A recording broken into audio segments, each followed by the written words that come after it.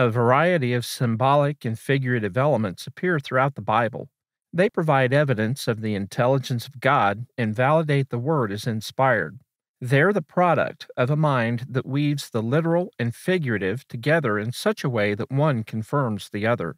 The ability to understand symbolic elements in the Scriptures is critical to comprehending biblical doctrine. Building on the content that we've already covered, we can now begin to examine the text in more detail. By doing this, we'll develop an appreciation for the depth of the Scriptures as we take a look at the nature and characteristics of symbols in the Bible.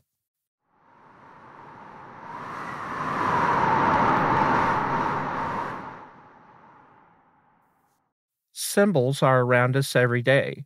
They're common and generally go without notice. Speech, for example, is composed of words that represent ideas and convey meaning. Type on a page is a visual manifestation of speech and also relates ideas and concepts. Numbers are everywhere from our phones to our homes and everywhere else. Money is a shared symbol we use in exchange for goods and services. We don't have any problem with these since they're so common. We usually don't even think in terms of symbols as we go about our daily affairs. We're used to them and use them all the time. If we begin a discussion and I tell you that I want to talk about symbols, what does that bring to mind?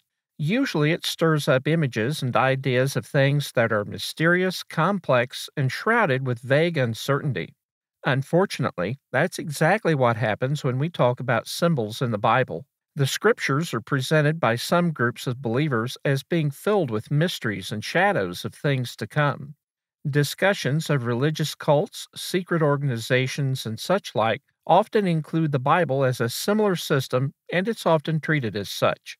Some compare symbolic forms in the biblical narrative to ancient pagan writings and rituals seeking to establish a common bond between them. Over the years, we've seen books, movies, and documentaries made about hidden messages coded into the scriptures and numeric sequences that can be extrapolated to reveal obscure knowledge and the list goes on. But is that really the nature of symbols in the Bible? The biggest problem with symbols and figurative language in the scriptures is the fact that many people don't accept that the Bible is inspired by God. There are a lot of believers who don't really understand that concept. They sometimes find themselves agreeing with the ideas of historians, anthropologists, or other academics that the Bible was in many ways borrowed from other cultures. In this interpretation, the Bible is just a Hebrew version of older stories that were modified over time. What happens when we change our perspective and acknowledge God as the author of the Bible? We find a level of connection in the scriptures that begins in Genesis and ends on the last page of Revelation. We see a book filled with such design and engineering that challenges how we think about it. When we look at it like this, we can see a story that continues to deepen every time we read it. But to get to that point, we have to gain a very intimate understanding of the subject. When the term symbol is used in conjunction with the Bible, it can take on a life of its own and could end up being more misleading than clarifying. In its simplest form, we can think of a symbol as something that stands for something else. In other words, symbols represent something.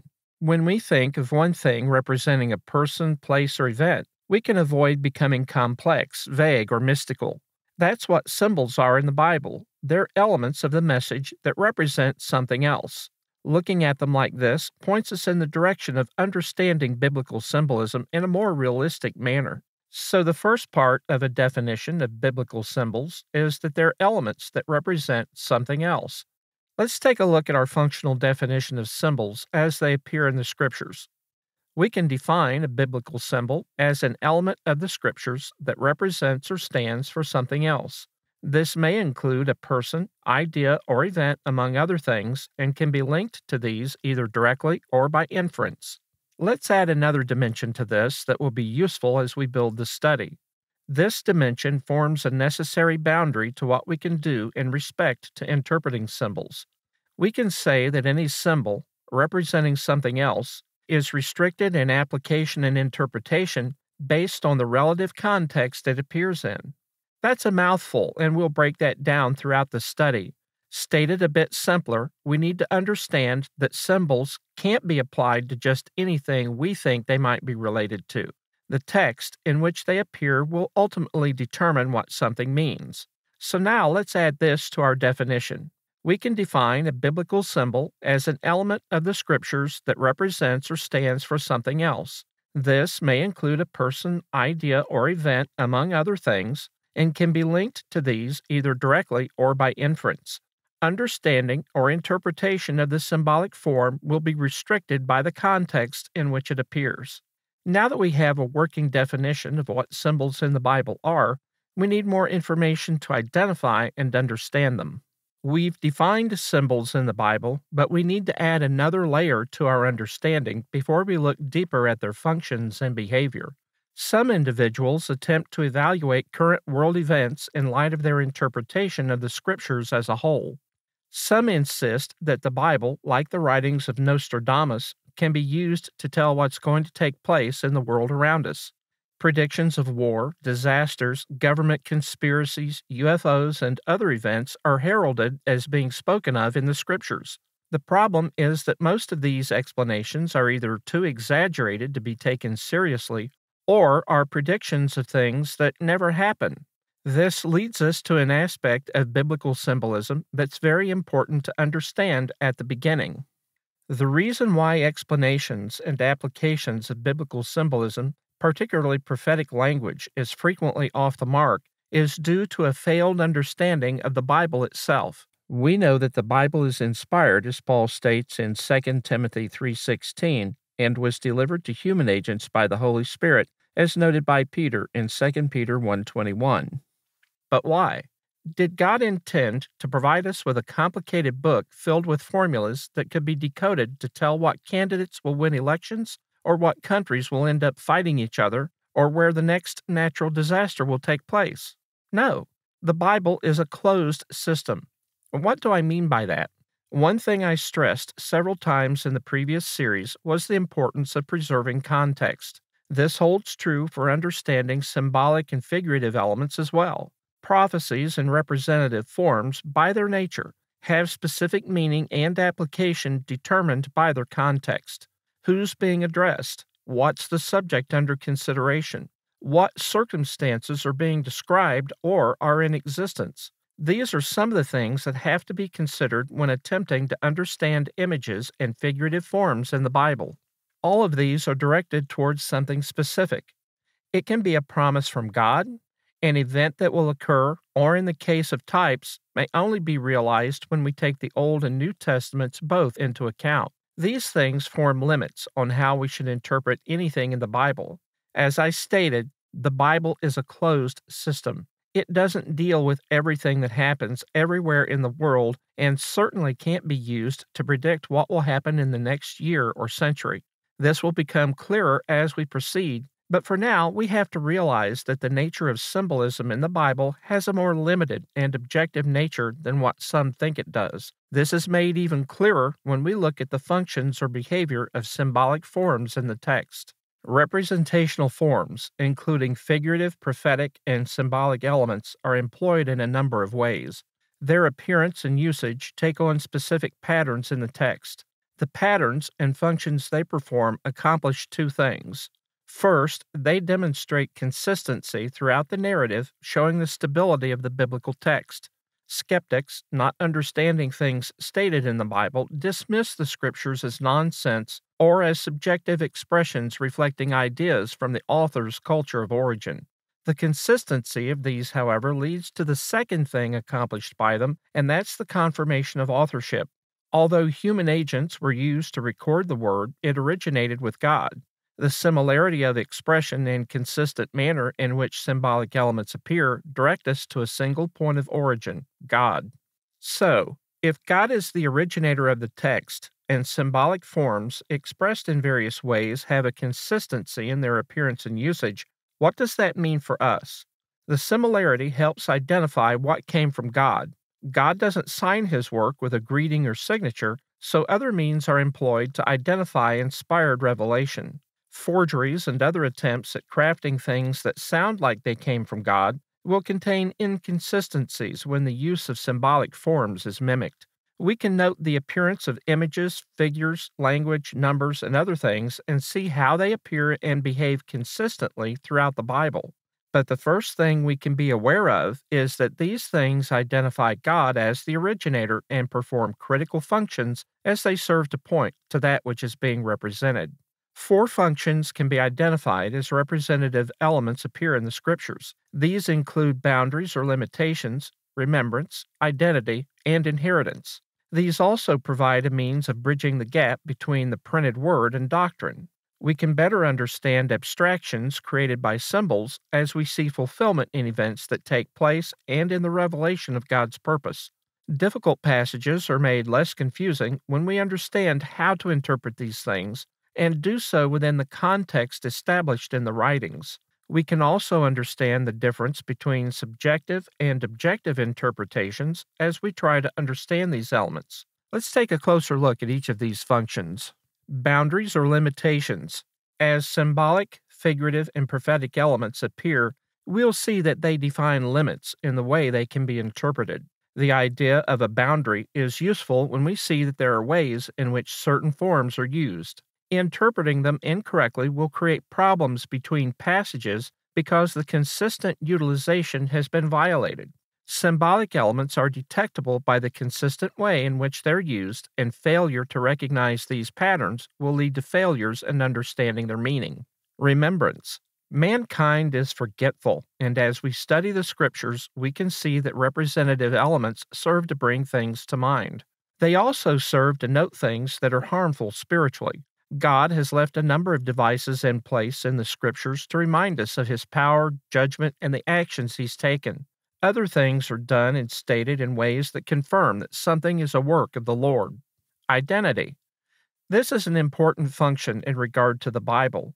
How can we identify what's right, wrong, true, or false?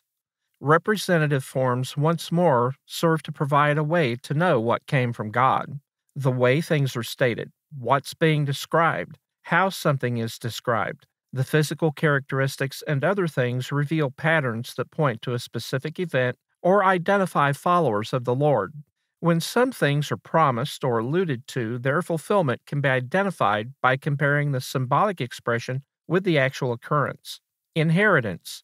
God identifies the nature of inheritance and characteristics of heirs throughout the Scriptures.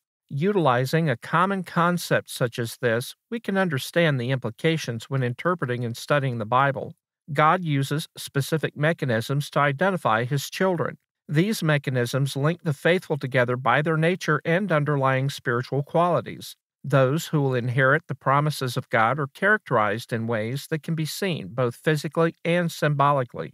These are four things that will help us create a framework for understanding symbols in the Bible. As we'll see, this also complements our study of content and further strengthens the idea of preserving the context of books, chapters, and verses. So now that we have a definition and identified functions these perform in the scriptures, we need to understand the forms they appear in. The idea of symbols and symbolism for most people brings to mind images of things that are dark, obscure, and mysterious. And as we begin to search the scriptures, that may be how they seem. Some religious groups focus on the mystery of the scriptures and allude to things that we can't understand. One of the things I want to accomplish in this study is to demystify the Bible. God didn't give us a library of hidden meanings and shadowy premonitions, just the opposite. In this chart, I've shown the relationship between the Testaments in a way that will help us understand how God has worked over the ages to accomplish what he set out to do. Paul stated that God had hidden his work in a mystery which had been revealed in the first century in Colossians 1:26. The Old Testament conceals while the New Testament reveals. The Old Testament alludes to things that will come about and does so indirectly through a variety of elements that are often misunderstood. Finally, there are questions raised about the work of God in the Old Testament, but as we turn to the New Testament, we find answers and explanations. The way that God does this is by means of different forms of representative elements that include symbols, types, figures, and prophetic or figurative language. Some of these overlap, and I'll discuss that as the study progresses. This chart describes each of these, so let's review it. Symbols. A variety of elements appear in the scriptures and represent a number of things. These can appear in dreams, visions, physical manifestations, etc. They can express ideas or be related to specific individuals or events. Many of these are explained at some point or can be determined by study and comparison with other passages. Type This is a form of symbolism that represents something else in a definite manner. A type is an element that possesses the nature or characteristics of that which it represents. This can be determined by detailed explanations in the scriptures or by means of comparison. Types are limited in nature, referring to one particular thing which restricts application to general ideas. Figures, figurative language, and prophecy. I've combined these elements as they're frequently seen together. A figure might be an individual, object, event, or process to name a few ways in which they appear. Figurative language is often made up of non literal statements that appear in prophecies.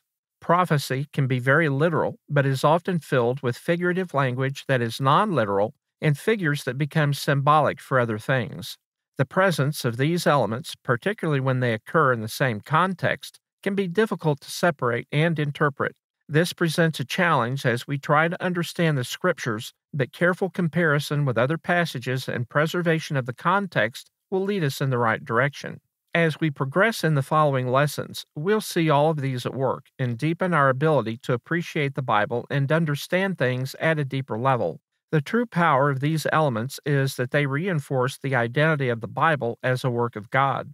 The consistency and complexity of concealment and later revelation I believe to be beyond the ability of humans to accomplish.